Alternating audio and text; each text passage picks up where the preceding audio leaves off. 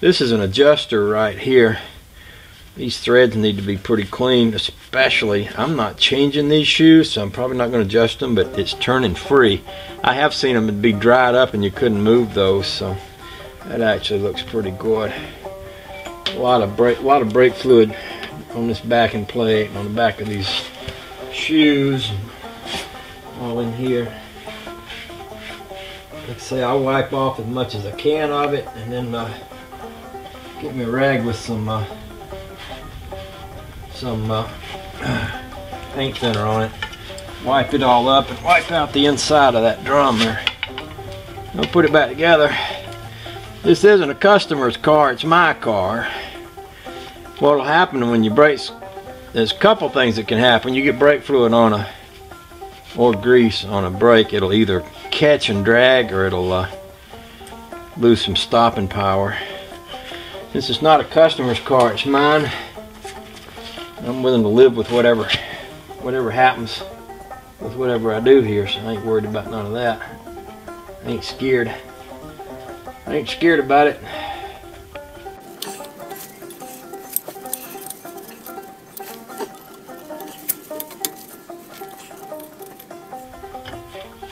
If I can stretch that that much or not. Put it on there and then put that spring on it. That would be okay too if I have to. I've done worser things.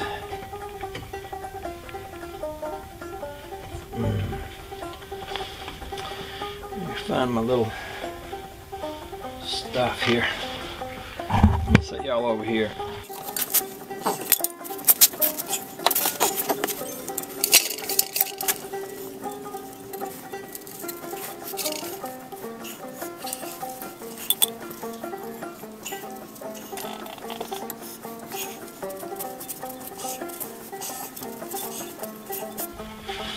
When I was a boy, I used to drive a trailer truck for UPS over on Fulton Industrial Boulevard in Atlanta. On the other side of I-20, there's a factory called Raylock, and Raylock used to rebuild car parts.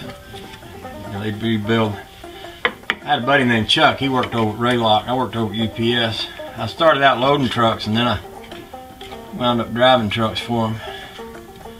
I used to swing over to Raylock from time to time to see Chuck.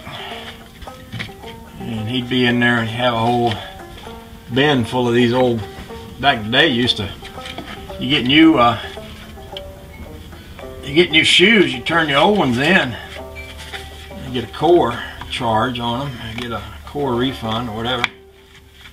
Uh, get a few dollars back, they take them down to Raylock and they redo them, make them new again. Good as new. And that way you wind up, instead of them having to make the whole things over, you get a nice little rebuild set. Oh, that worked out real nice. I don't know if Raylock still exists or not. I don't know if they're still there. I don't know whatever happened to Chuck either. He was a good egg though. I liked him a lot. He had a uh, 56 Chevy in high school with a burnt valve in it. Didn't really have the money to fix it and he couldn't afford to tear it down because he needed it to drive. It's the only car he had. And, uh, you hear him coming, that old 283 would be chugging with that burnt valve. oh, she was a good one.